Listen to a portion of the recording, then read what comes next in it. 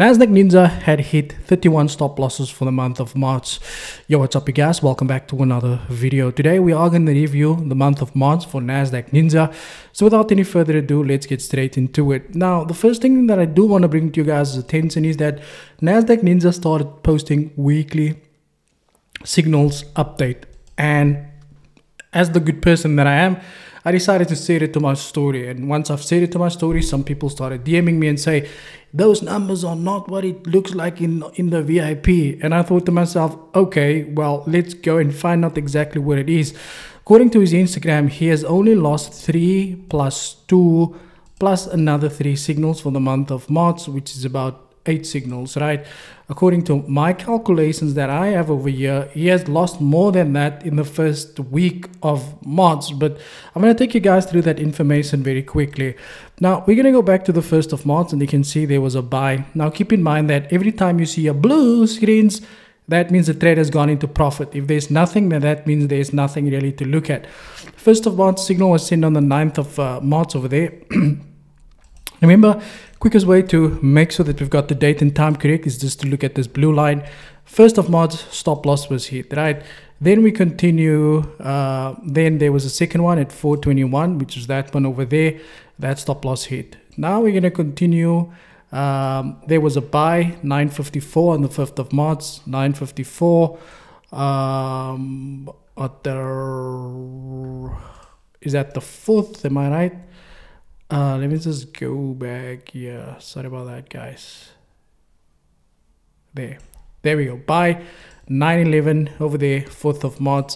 That stop loss was triggered, and then the next one that was sent was uh, let me just speed this up a little bit because there is a lot that we need to cover right there was a buy sent on the 5th of march at 954 which was on the 5th of march at 954 am i correct there we go which was this one over here, right? It was sent right, right in there. That stop loss, we can always argue whether it triggered or not, but we went into some profit. The market then took a U-turn, right? Then the next uh, signal that was sent thereafter was another buy on the Dow Jones at 313, right? That was sent there, just check there, right? Stop loss was hit.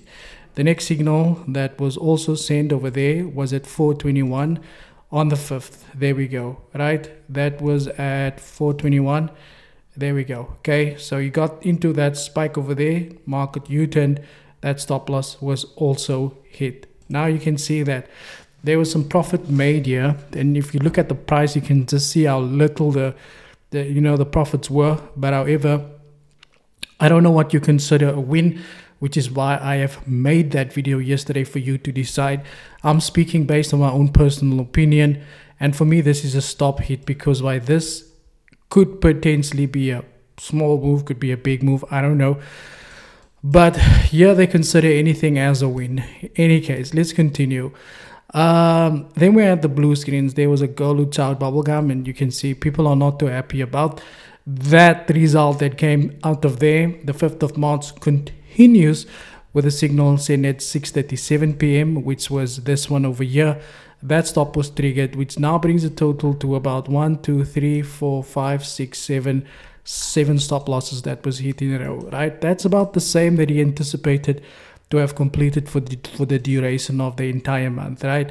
There we've got some red screens and mixed with blue screens. We Really not here to justify the next trade then started getting TP1, TP2, and TP3, and we're going to give them the benefit of the doubt for that, right? 6th of March, 814 was a beautiful execution trade. Uh, um, excuse me, it was sent, yeah, somewhere, somewhere there. Uh, just that quarter past 8, uh, there we go, right? So this trade was sent at quarter past 8, and we basically went to TP1, I believe, had hit TP2 38902 sits somewhere along here. So just the TP3 didn't hit. And then TP2 was 38775, um, which we are going to basically 38775, which was there. Okay, cool. So at TP1 hit and TP2 hit. Once again, you refer back to the video that I made yesterday to decide how you would approach the situation. For me, the overall trade was good because TP1 was over a 1% loss. was over 1% as well. So let's continue with this very quickly. Now, the next signal was sent on the 6th of March again, which was a buy at 8.15. Um, that was sent on the 6th of March, which I do believe was the one that we just looked at now. Sorry. Um, there we go. There you can see the blue screens, and then you for more blue screens. There you can see TP1 had hit then on the 6th of March at 4.51, there was another signal sent, um, 4.51, which is this one over here. The reason why I didn't plot this one because the prices are completely out. Firstly, 38,669. 38,669 sits somewhere here, right? 38,669 is somewhere there we go there, right? The signal, as you can see, was sent at 451, which is here. This is a buy, so you can't buy with the stop loss being there. So for that reason, I did not include or add it on there. Um, on March the 7th, we are gonna go, let's go, there we go. March the 7th, there was one sent at 8, 844, which was this one over here. That stop loss had hit. And then on then the next trade was a buy on the German 30 that we are going to go and speak about very quickly. That was the first buy on German 30. Um, they said cut the position short. We will be back. Um, then on the 7th of March, there was a the one they were just spoken about over here. Um, this trade was sent here. So this trade came with a stop loss but no TP. So I plotted it as is and you can see it went exactly as anticipated and we're going to count that as a win, right? Next one was a sell on the US 30 that we're going to go back to.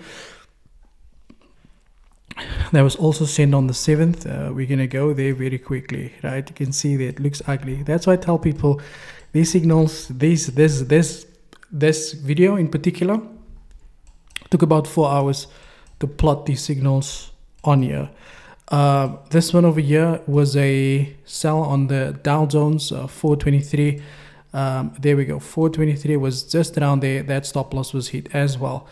Next was a sell on the Nasdaq 100, and that one also. Just remember, if you get no blue screens, it means that the trade didn't go as they would have anticipated, right? I guess uh, the free group might have been very quiet as well. 7th of March, Nasdaq. Here we go. Um, that stop loss hit as well. Now we're going to continue. Then on the 8th of March, there was a buy on the Dow Jones at 950, 945 that we are also going to go and take a look at, right? Let me just get through this very quickly. Um, here we go, right there, boom. That was uh, March the 8th. You can see there, March 8, 945. Uh, 945, that stop was triggered as well. Then we continue. Then there was a buy on the Dow Jones um, that was in at 321, which was this one over here, as you can see. Excuse me. That market took off exactly as anticipated, and people was once again, yes, Nasdaq to go. Then 11th of March, there was another buy sold at uh, send at 855, which was this one over here. Now this is where uh, you got the fastest hat trick, right? And the 11th of March there was three stop losses triggered between 9.15 and quarter to 3 and i'm just gonna press play which is one two okay two. That that that trade didn't that trade guys that trade didn't go far right? You'll see that that trade basically it was there. It went like that and then it went down right? Then it came up spiked, then it came down again. Now you might count this as a win, right? This video is based on my own personal opinion. Not not if you feel that you still want to sign up, you can see there. People are finding this very funny. And then the this Okay, any case, let's go to the 12th of March. Whew, uh, I think it's time for the ninja to hang up his his uh, his, his, his he's, he's, he's, he's leave now. Say, guys, I'm done with, with selling signals. 12th of March, there we go. Another one. This trade went into some profit that made a U-turn. The stop loss was hit. Um, so March the 13th, there was another buy, which was this one over here, right?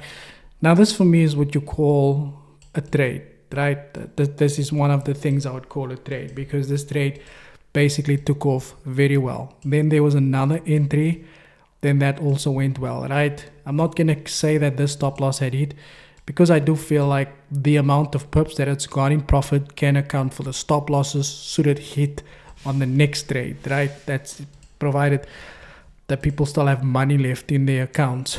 Any case, the 13th of March continues with the buy on the Nasdaq, and it's kind of mixed feelings uh, there in the reaction section. Um, let's go there quickly. That was what did I say on the 13th of March? 13th of March. There we go. Now, here we go. Now, for me, this is a stop loss, right? Because if you look at the the the the, price between the stop loss and the entry versus the profits that it's gone into. But like I said, some people will count this as a win, and he does count it as a win. You might not count it as a win. I, I, I, I don't know. It's it's, uh, it's you know, it's about preference, right? The next signal, 13th of March, once again. Uh, let's continue. 13th of March, you can see ooh, this blue lines. Uh, let's go in there. 13th of March.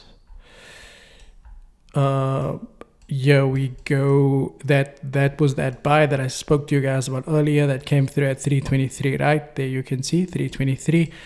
And then we are gonna continue continue. There we go. 14th of March, there was a buy that taken place at about 8 o'clock, which is this one over here. Also, very, very, very, very, very, very beautiful trade. Um, okay, there we go. Then there was a buy on the Nasdaq at 10 past 3, which we're gonna go and take a look at very quickly. Um, buy on the Nasdaq at 10 past 3. There we go, which was this one, right? That stop got triggered on the 15th of March. We will see now. Uh, 14th of March at 10 past 3. So we are basically one step ahead over here. How did I think this was on the 14th? Buy Nasdaq on the 14th. Let me just plot it on the 14th as well because why I do think that there was one that was at 3:10 p.m. 3:10 p.m. This was 3:15, so it would have been it there because that's 3:15. This was at 3:10. Stop loss was 18,100. Um, let's do that. Take 18100 there okay. That is basically i think this year this this spike let's see the price that it did buy. That will give us some sort of an indication that is 18 or double one six okay. 18 am i am i seeing this right? 18 1 1 6 18 116 116 there we go. so there, you can see we had that move to the upside with that green candle. The next red candle then came back to hit that uh, stop. But there's a blue screens in the house. There we go. I think that's that's that's where the people go like oh, we were buying and then it came down once again. Yeah, this is what happens when you uh, sell when you when you pay for signals. There oh that that guy yeah some of the people actually went the other way guys this is a pullback. When you see a pullback you're supposed to lock profits. You are supposed to lock profits. Not what i paid for. Any case let's go. 15th of march uh, 755 uh, let's get in there. 15th of march uh, here we go. 15th of march uh, 745 that's about the year. Okay, stop loss was once again triggered. Uh, there we go. 319 March the 15th. Uh, boo, boo, boo. Let's go there. March the 15th. No. Here we go. Your, your, your. Okay, 15th. Uh, 15th. Hi, man. Okay, 15th of March Okay, yeah. So we did not actually plot it. No, Nasdaq. Sorry, guys, my my head's all over the place. Okay. In any case, I'm I'm not gonna go th- still till there. You can see the stop loss had it. Then this is the first time that you actually see him, like you know, saying that the stop loss had it. But we have had a lot of stop losses that was triggered before there as well. Now this one, there we go. That's where I counted. There we go. So March the 18th of over here was the uh, trade on gold. That was the main TP. This trade was beautifully executed when in the deep in the blues. There you can see TP1 had hit um, the buy on the Dow Jones that was in at 313 um, let's go back to the dow jones uh, back on the dow jones 18th there we go. Yeah. Another beautiful trade right? But they i'm not sure if that stop loss actually triggered but it did go into some profit and before it actually came down. So again if you see the blue screens then you must know results. You see there the only thing is he, he personally doesn't trade with a stop loss so his stuff might look different from the people um, in there as well. Then there was a sell on the nasdaq. That one was also seen on the 18th at 5 at the, on the 18th at 5 um, uh,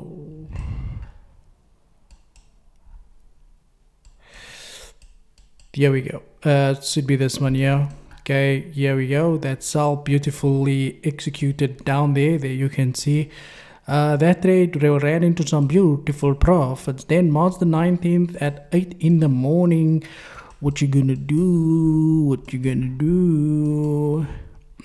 Excuse me guys. 19th of march at 8 in the morning. So it's a lot of signals. And and i said this before and he went on to the podcast to say yeah, this guy says send a lot of signals, but you do send a lot of. Use a lot of signals. So, any case, here we go. Mods, uh, the 19th at 8 p 8 a.m. That stop loss was hit. There was another position added, and both of that stop losses got triggered. Then the market went up. Then he wanted to sell. Then that stop loss hit there as well. So we'll get to that signals.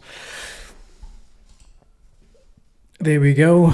There there was a buy on the German 30. That trade on the 19th did go as anticipated. I would still believe if my memory serves me correctly, which was this one.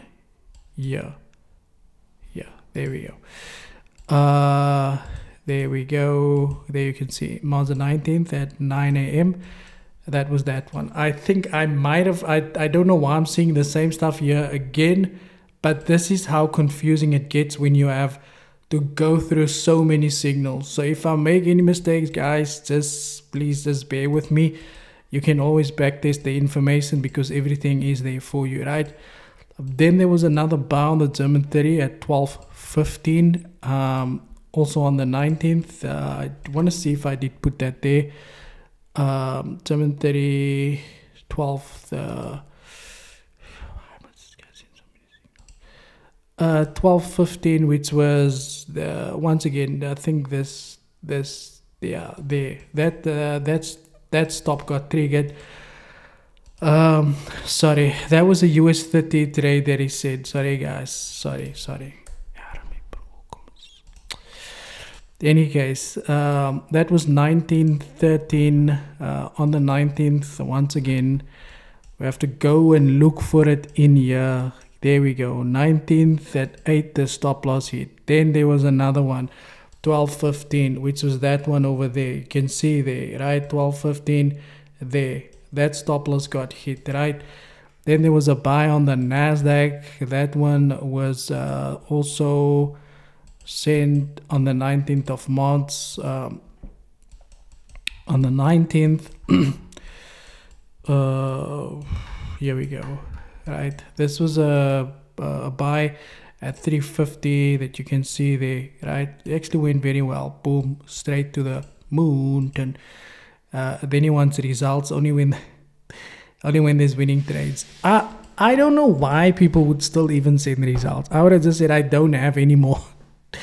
I don't have any more money to to trade. Day sell us 13 19th of march and the stop losses continue you know what? I, I think it's it's it's like here we go. This this this this was this one. Now you know what the funny thing is right? 1654 there 9th of march there was a sell there just after five.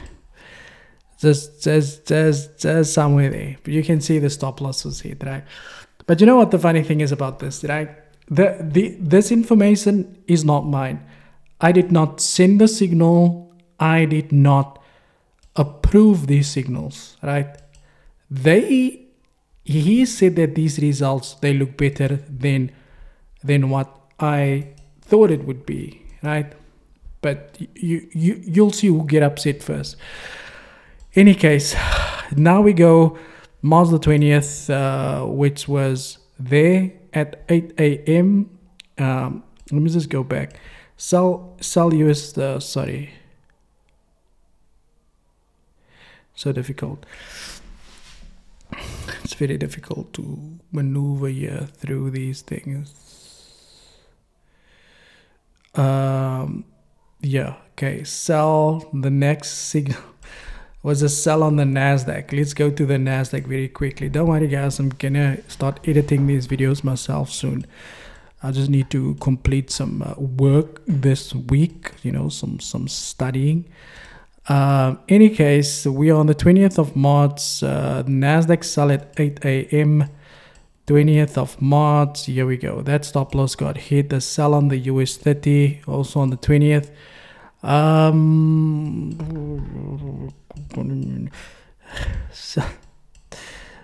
sell on the 30, 20th. Yeah. Okay, sell on the 20th. Um, there you can see that trade just started to uh, to move down. Okay, so I'm gonna take you guys through the rest of the signals and play the video for you guys because why I don't want to drag this video too long. I know most people will probably not even get here, but here we can see the next stop was triggered that was a beautiful trade on the 21st of march there was two beautiful trades and on march the 22nd there was two stop losses that was hit. March 25th we had a good trade there. Then march 25th once again there was uh, two stop losses that got triggered. Yeah we can debate whether or not it stopped triggered but there was a good trade and followed by another okay trade. Then uh, another trade in profit, stop loss hit, stop loss hit.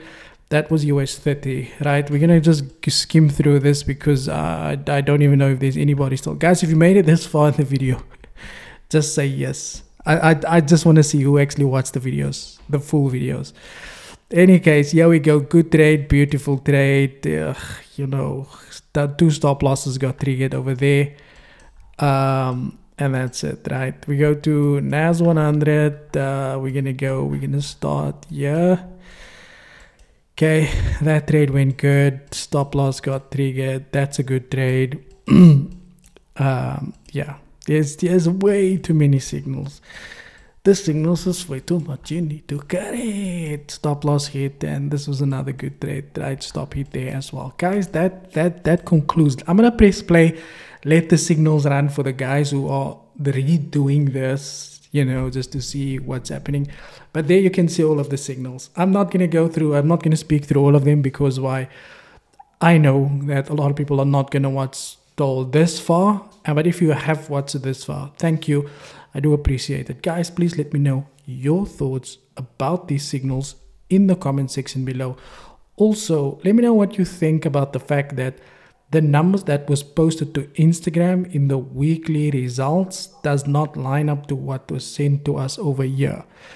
What do you guys think about that? Because why it is it, it is like I'm at that point now with this reviews where you go, but you're lying. And then but but you can't say they're lying, right?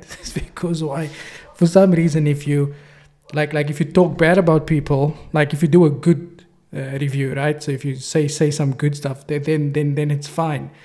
But the minute you say something that is is there is no it you know when it doesn't comprehend or sit well with them, they you know they want want to get upset because of it. But there you guys can see it was still going, still going, still going. there, 25th of March send the yellow signals. There was signals galore. If you guys want to redo this, you can. You might as well just go over it. There, okay, there.